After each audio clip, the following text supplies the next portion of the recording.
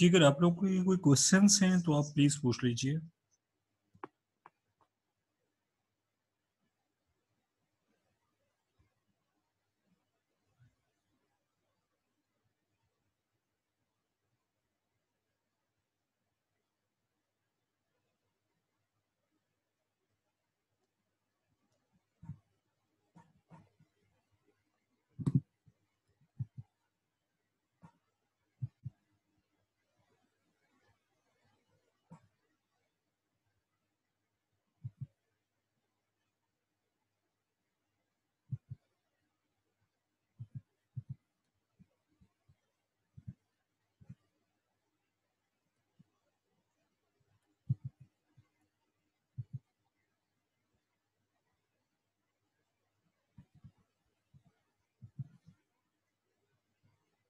कोई क्वेश्चन नहीं आगे बढ़े।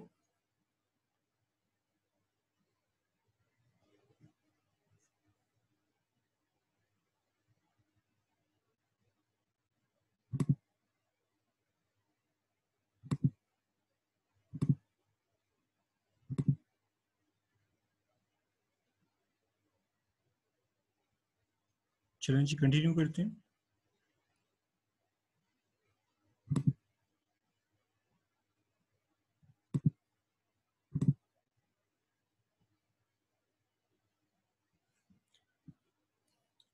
अच्छा ये था हमारा वही मल्टीपल इफ़ वाला एक ब्लॉक डायग्राम इसमें आपने ना एक ख्याल रखना है, वो ये कि ये जो मल्टीपल इफ्स होंगे ना, उसमें जब भी प्रोग्राम को कोई भी एक इफ़ की कंडीशन ट्रू मिलती है तो वो प्रोग्राम बाकियों को चेक नहीं करेगा।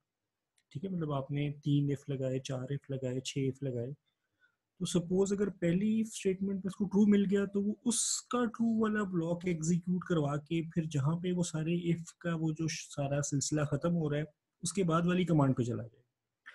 अगर सपोज़ पहली वाली फॉल्स हो गई, ठीक है, यहाँ पे, लेकिन ये सेकंड वाली जो है, ये ट्रू हो गई तो ऐसी सूरत में वो इसकी ये ट्रू वाला ब्लॉक को एग्जीक्यूट करवाएगा, जो यहाँ पे कोड लिखा हुआ है, वो एग्जीक्यूट होगा। और देन प्रोग्राम उसके बाद बाकी किसी भी कंडीशन को चेक किए बगैर, ये देखें यहाँ से एग्जिट हो जाएगा। जैसे हम बचपन में गेम खेलते थे ना, रास्ता तलाश करें तो ये जी बिल्कुल प्रोग्राम इस तरह से अपना रास्ता तलाश करता है बाहर निकलने का, ठीक है? अगर सपोज़ ये यहाँ से आया, ये कंडीशन फॉल्स हुई तो इधर आ गया, ये दूसरी भी फॉल्स हो गई, ये टेस्ट थ्री पे आया। अगर टेस्ट थ्री वाली कंडीशन ट्रू हो जाती है तो फिर ये यहाँ से ब्लॉक थ्री को एग्जीक्यूट करेगा यानी कि टेस्ट थ्री वाला जो ट्रू का कोड है ट्रू का ब्लॉक है, उसके अंदर जो भी लिखी हुई कमांड्स उनको एग्जीक्यूट करेगा और फिर ये यहाँ से बाहर निकल जाएगा, ठीक है? बाहर से मुराद ये जो इफ़ वाला जो पूरा सेक्शन बने हुए हैं, उनसे बाहर निकल के नॉर्मल प्रोग्राम की एग्जीक्यूशन कंटिन्यू कर देगा। और सपोज़ कि यहाँ से आया टेस्ट वन भी फॉल्स हुआ टू भी फॉल्स हुआ थ्री भी फॉल्स हुआ, और उसके बाद कोई अगली टेस्ट फोर कंडीशन नहीं थी, बल्कि एल्स का खाली ब्लॉक लिखा हुआ था। तो फिर वो इस वाले ब्लॉक को एग्जीक्यूट करवा के यहाँ से नॉर्मल एग्जीक्यूशन कंटिन्यू कर देगी। ठीक है?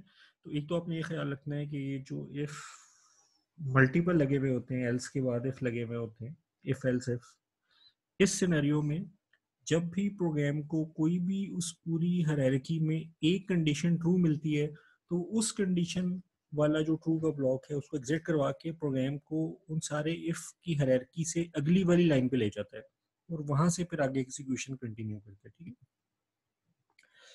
अच्छा ये अब जो शायद बुक की एग्जांपल है या जो भी है स्लाइड में एग्ज़ाम्पल जो दी है थोड़ी सी डिफरेंट है हमारे वाले से। इसमें वो क्या कर रहे हैं?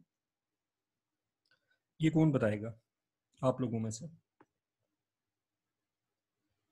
ठीक है, इस प्रोग्राम को एक मिनट रीड कर लें।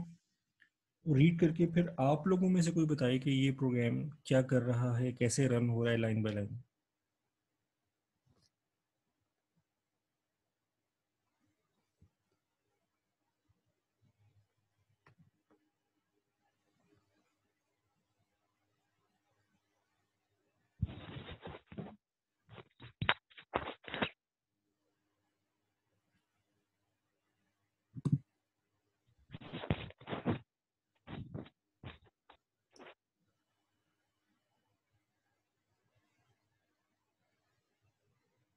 जी जनाब कौन शेयर करेगा इस प्रोग्राम की एग्जीक्यूशन हमारे साथ?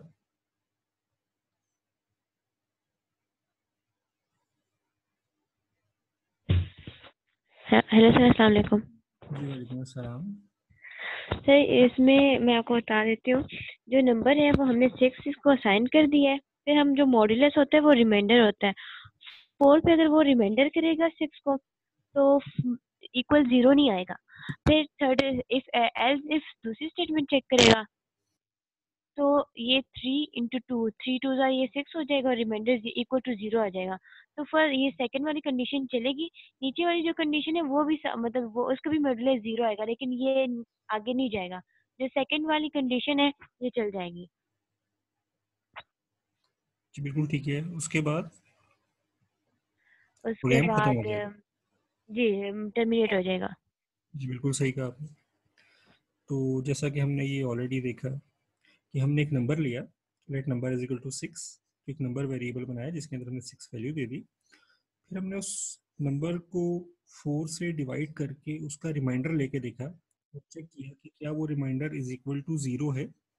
अच्छा देखें जब हम ना कोई वैल्यू किसी को वेरिएबल को असाइन कर रहे होते हैं तो हम सिंगल इज़ इक्वल टू लगाते हैं।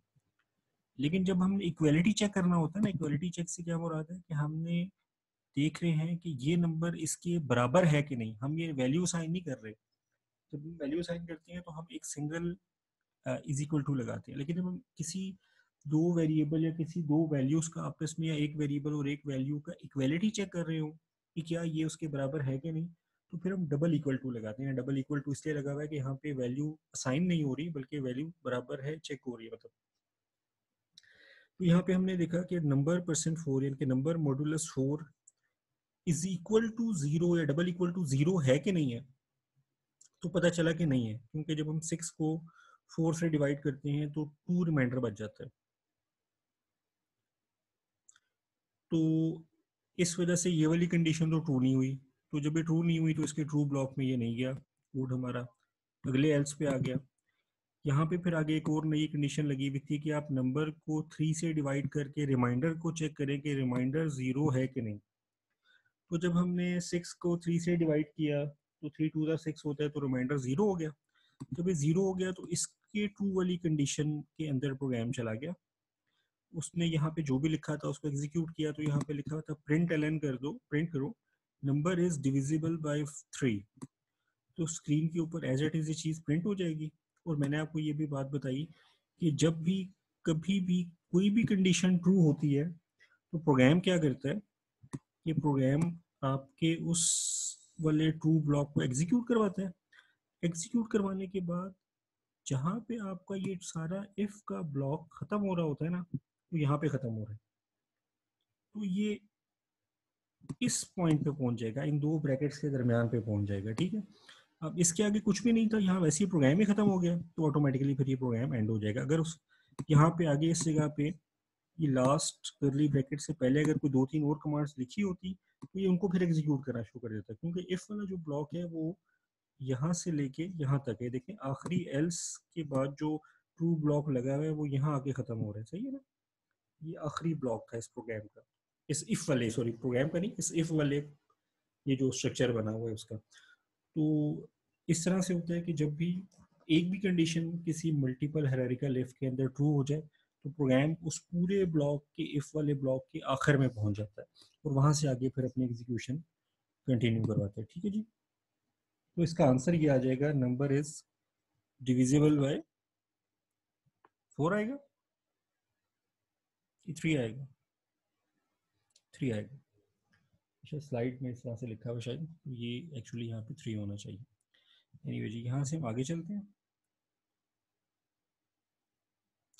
और यहाँ पे वही वाली बात लिखी हुई है कि जो फ़र्स्ट कंडीशन ट्रू होती है ना उसके बाद रस जो होता है, वो जो पूरा इफ़ का जो आपने ब्लॉक बनाया हुआ है कंडीशंस का, उसके एंड में चला जाता है। तो Rust only executes the block of first true condition अगर उससे ज़्यादा भी ट्रू हो रही हो तो वो उनके ऊपर और फिगर मजीद नहीं करता। जिस तरह हम अपने कोड में चलते हैं वो जो भी हमने कोड बनाया था। तो आप देखिए मार्क्स कितने हैं? 75 तो ये देखें मार्क्स 75 जो है ग्रेटर देन 69 होता है ना उसने ये वाला कोड एग्जीक्यूट कराया। लेकिन आप देखें 75 आल्सो ग्रेटर देन 59 होता है। 75 आल्सो ग्रेटर देन 49 भी होता है। ठीक है? तो ये सारी कंडीशन ट्रू बन रही हैं। लेकिन चूँकि उसको पहली कंडीशन ये वाली ट्रू मिल गई थी कि if marks are greater than 69 तो उसने फिर पहली कंडीशन के बाद उसके अंदर जो भी ट्रू ब्लॉक में कोड लिखा हुआ था, उसको एग्जीक्यूट करवा के तो उसके बाद उसने बाकी कंडीशंस को नहीं चेक किया, उसको जो ही पहली कंडीशन मिली, वो एंड में आया जहाँ पे आके हमारा जो इफ़ का सारा स्ट्रक्चर था, वो यहाँ आके ख़त्म हो रहा था। तो उसके बाद उसने अगली लाइन देखी तो अगली लाइन यहाँ पे ये वाली जो कमांड थी प्रिंट एल प्रोग्राम एंड की, ये वाली कंटिन्यू करवाई एग्जीक्यूट करवाई और फिर आगे खत्म हो गया ठीक है? तो यहाँ पे आप देखें कि इस वाले केस में 75 मार्क्स को देखा जाए और अटेंडेंस 70 है तो ये सारी ही कंडीशन ट्रू है, लेकिन उसको जो ही पहली वाली कंडीशन ट्रू मिली, उसने सिर्फ़ उसको एग्जीक्यूट कराया और उसके बाद वो इफ़ वाले पूरे स्ट्रक्चर से आगे चला गया तो ये आपने ख्याल रखा।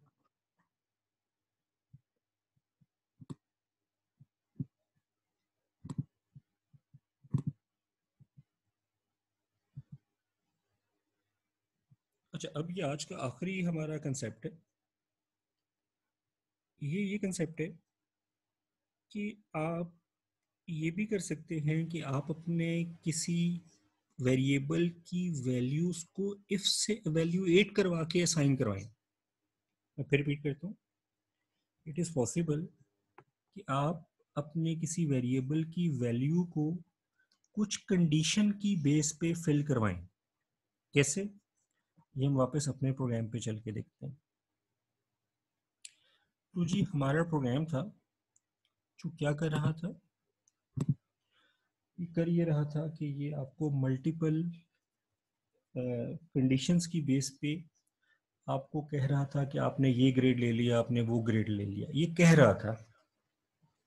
हम इसी प्रोग्राम को ट्रांसफॉर्म करते हैं।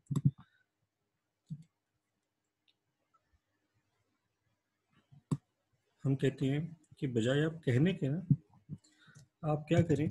आप कहें लेट ग्रेड करेक्टर तो आप क्या करें कि एक ग्रेड यानी कि वेरिएबल बनाएँ और उसके अंदर करेक्टर इनके करेक्टर टाइप का वो वेरिएबल है उसके अंदर ए असाइन कर लें। ठीक है? बजाय प्रिंट करवाने के, अब हम क्या कर रहे हैं?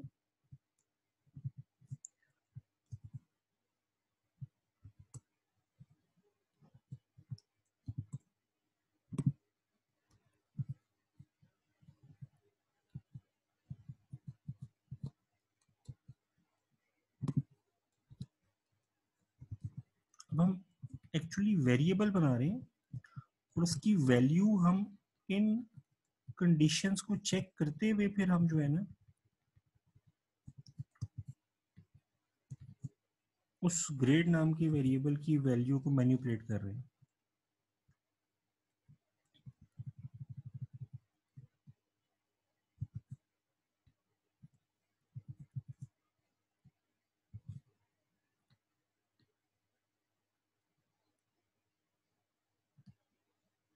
ठीक है जी तो ये देखें हमने क्या किया?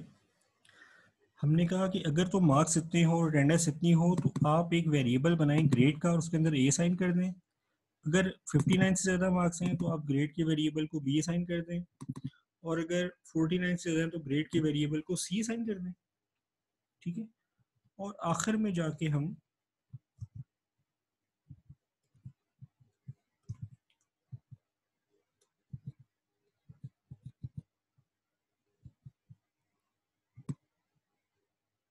ग्रेड के वेरिएबल को प्रिंट करवा लेते हैं।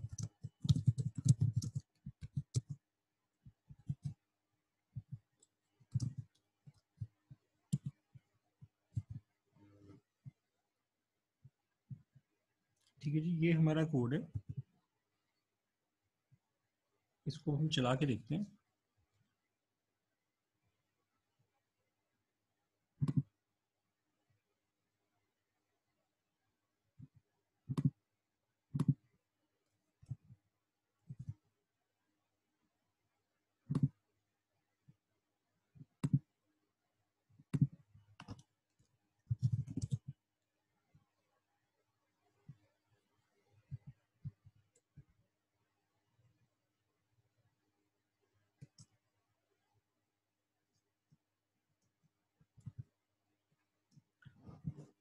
अच्छा इसमें हमने गड़बड़ क्या की? हमने किया ये कि ग्रेड को यूज़ भी किया, लेकिन उसको डिफाइन भी किया हमने ट्रू वाले ब्लॉक्स के अंदर। तो ना, अभी हम आगे जाके एक चीज़ पढ़ेंगे स्कोप तो होता ये है कि हर वेरिएबल का कुछ स्कोप होता है। उसी स्कोप के अंदर ही यूज़ हो सकता है, उससे बाहर नहीं। तो चूँकि उसको हमने उसका जो स्कोप था वो हमने ट्रू ब्लॉक रखा हुआ था। ये स्कोप वाले मसले को आप छोड़ दें क्योंकि ये मतलब अभी जब हम दोबारा आगे तीन चार लेक्चर्स के बाद जब हम स्कोप को देखेंगे तो देन डिस्कस करेंगे। तो फ़िलहाल आप ये जान लें कि जो स्कोप होता है ना, वो वेरिएबल जहाँ पे डिफाइन होता है, जिन दो करली ब्रैकेट्स में डिफाइन होता है तो वो उसी के दरमियान एक्सेस हो सकता है, उसके अलावा कहीं एक्सेस नहीं हो सकता। देखिए, पहले मैंने वो जो ग्रेड का वेरिएबल था, वो यहाँ बनाया था, इस जगह पे। ठीक है? तो वो इससे बाहर कहीं यूज़ नहीं हो सकेगा, वो इन्हीं दो करली ब्रैकेट्स के अंदर ही उसका एक्सेस रहेगा, ठीक है? अब मैं क्या कर रहा हूँ? अब मैं अपना जो ग्रेड का वेरिएबल है, वो यहाँ इस जगह पे डिफाइन करने लगा हूँ। तो उसका एक्सेस कहाँ तक होगा? जहाँ तक इस मेन प्रोग्राम की, इस करली ब्रैकेट की एंडिंग ब्रैकेट लगी है वो कहाँ लगी हुई है? वो यहाँ पे एंड में लगी हुई है, इस जगह पे। फिर ये प्रोग्राम मुझे मतलब ये अलाउ करेगा कि मैं ग्रेड के वेरिएबल को कहीं भी यूटिलाइज कर लूँ। तो मैं यहाँ पे बनाता हूँ let grade character is equal to X for और चूँकि आगे जाके मैंने इसकी वैल्यू चेंज करनी है तो उसको मैं म्यूटेबल बनाऊँगा, ताकि बाद में इसकी वैल्यू के अंदर मैं चेंज भी ला सकूँ।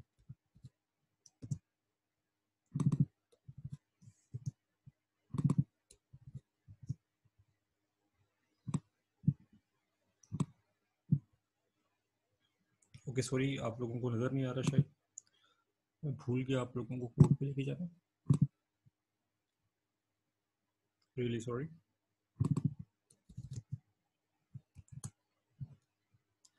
ये देखिए, मैंने किया ये कि मैंने वो जो ग्रेड का वेरिएबल है, उसको यहाँ पे डिफाइन कर दिया अपने प्रोग्राम के स्टार्ट में ही। और चूँकि आगे जाके मैंने उसकी वैल्यू चेंज करनी थी तो मैंने उसको म्यूटेबल बना दिया। ताकि मैं उसकी वैल्यूज़ को चेंज वेंज कर सकूँ। ठीक है? और उसके बाद फिर उसको मैं एज पर कंडीशंस जो है अगर वो सिक्सटी से ऊपर है या फिफ्टी से ऊपर है या जो भी है, उसके मुताबिक फिर उन वैल्यूज़ को मैं थोड़ा सा मैन्यूपलेट भी करता रहूँगा। ठीक हो गया जी? तो यहाँ से अब हम आगे चलते हैं। सेमी कॉलन भी लगाना मैं भूल गया था, बिल्कुल। तो ये है जी हमारा प्रोग्राम वही वाला प्रोग्राम है। इसके अंदर हम पहले ये कर रहे थे कि हम पहले इसके अंदर एज पर प्रोग्रेस उन ग्रेड्स को प्रिंट एलन करवा रहे थे। अब हमने ये किया कि एज पर कंडीशन हमने वेरिएबल की वैल्यू को कन्वर्ट कर लिया। वैल्यू के अंदर चेंज लिया है। और देन फिर एट द एंड उस वैल्यू को प्रिंट करवा लिया, ठीक है? तो अब हम इस प्रोग्राम को चलाते हैं। आपके साथ मैं स्क्रीन शेयर कर रहा हूँ अपनी।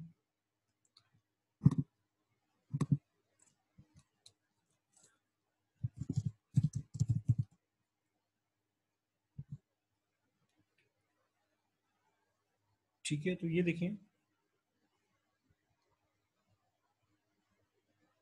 कि उसने हमें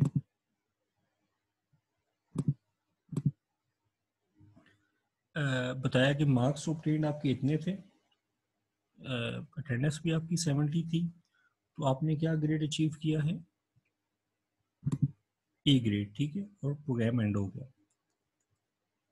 तो इस तरह से हम वेरिएबल्स के अंदर वैल्यू को भी चेंज कर सकते हैं बाय यूजिंग कंडीशन ठीक होगा तो यहाँ तक भी सवाल है तो प्लीज़ पूछ लीजिए। वरना फिर हम हम मतलब आज जो हमने सेशन में जो भी करना था, वो हम कर चुके हैं तकरीबन।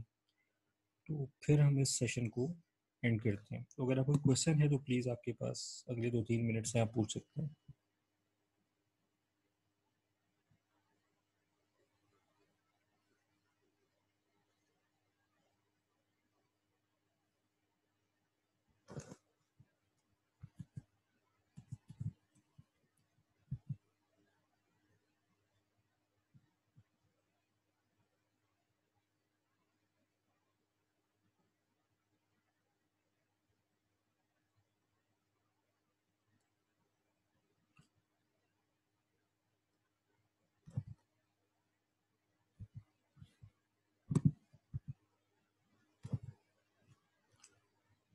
ओके जी, अगर नहीं है तो मैं एक छोटा सा फर्दर एडवांस कंसेप्ट है, लेकिन वो भी मैं आज ही आपके साथ शेयर कर दूँ, ताकि आज हमारा ये ख़त्म हो जाए। और कल हम सुकून से किसी नई चीज़ पे तवज्जो दे सकें।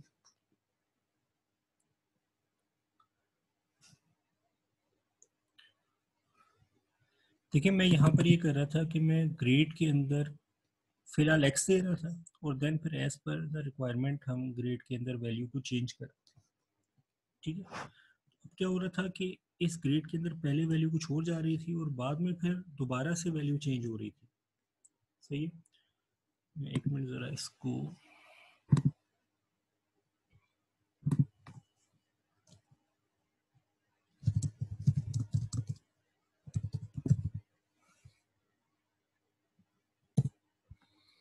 सेव कर लूँ चेंजेस को। ओके तो अब हम एक और छोटा सा एडवांस कंसेप्ट देखने लगे अगर आपको समझ नहीं आती तो कोई परेशानी वाली बात नहीं है, ठीक है? हम ये करते हैं कि हम बजाय इसके कि हम पहले ग्रेड की वैल्यू के अंदर एक्स असाइन करें, यहाँ पे, और देन फिर बेस्ड ऑन द कंडीशन उस वैल्यू को चेंज करें।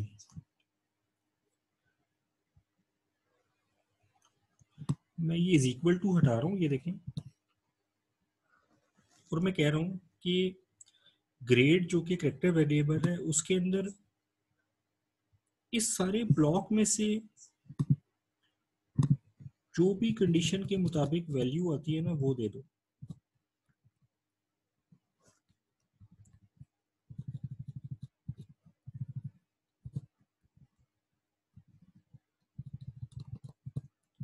देखें इससे पहले वाला जो हमारा पोएम था,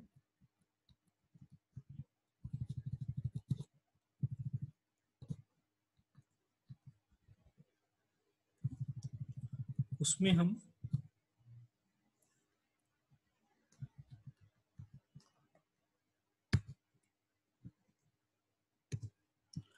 क्या करते थे कि हम वैल्यू को चेंज करते थे ग्रेड के वेरिएबल में। अभी क्या हो रहा है? अभी मैं कह रहा हूँ कि एक वेरिएबल बनाओ जिसका नाम हो ग्रेड उसकी टाइप हो करेक्टर और उसके अंदर क्या करूँ वैल्यू क्या डालो? ये देखिए, उसके बाद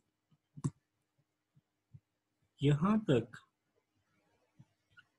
ये सारा इफ़ एग्जीक्यूट हो रहा है और उसके बाद मैंने सेमी कॉलन डाला है। तो ये सारा इफ़ एग्जीक्यूट होने के बाद हमें कोई एक सिंगल वैल्यू देगा और वो वैल्यू यहाँ पे आ जाएगी। वैल्यू कैसे देगा? ये देखिए मैंने यहाँ पे लिखा हुआ है।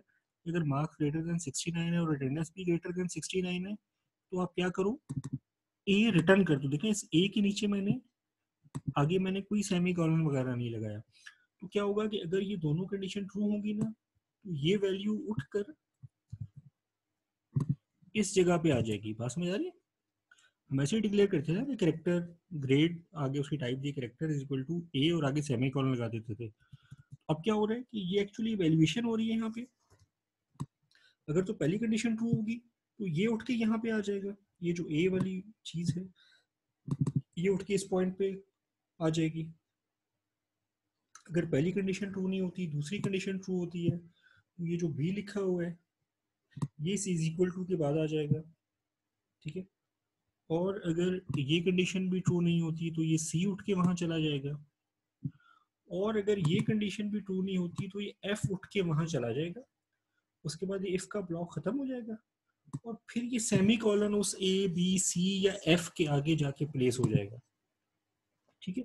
और इस तरह से क्या होगा कि ये पहली बार में ही वेरिएबल की जो वैल्यू है, वो आफ्टर कंडीशन एवेल्युएशन आके सेट हो जाएगी। इसीलिए देखें मैंने उसके आगे से म्यूट हटा दिया क्योंकि ये एक ही बार में उसके अंदर वैल्यू जा रही है, जो कि इन सारी छलनियों से या इन सारी कंडीशन से गुजर के आगे पहुँच रही है।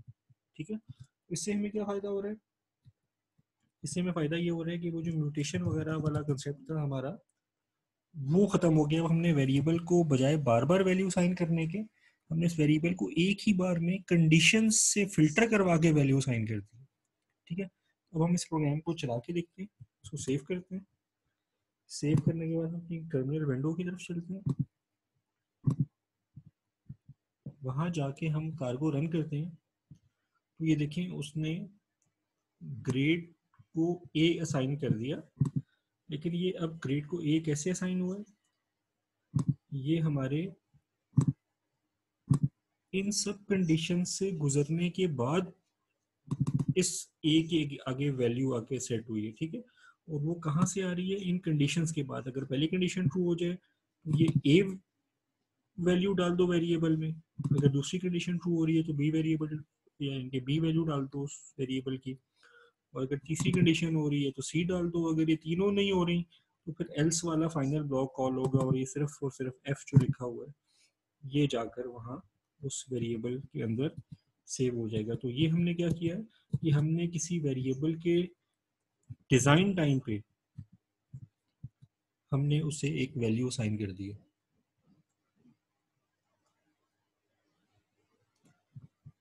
ठीक है।